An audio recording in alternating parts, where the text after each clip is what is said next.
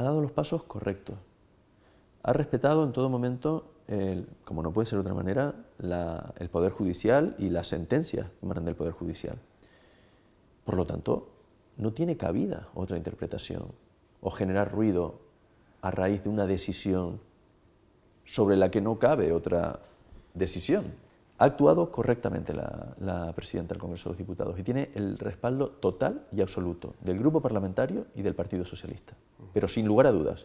Y evidentemente aquellos grupos que consideren lo contrario, que se dirijan a las instituciones o al ámbito que consideren oportuno, porque van a desmontar rápidamente esa consideración. Estamos absolutamente confiados y convencidos de que ha actuado conforme a la ley y dando los pasos correctos.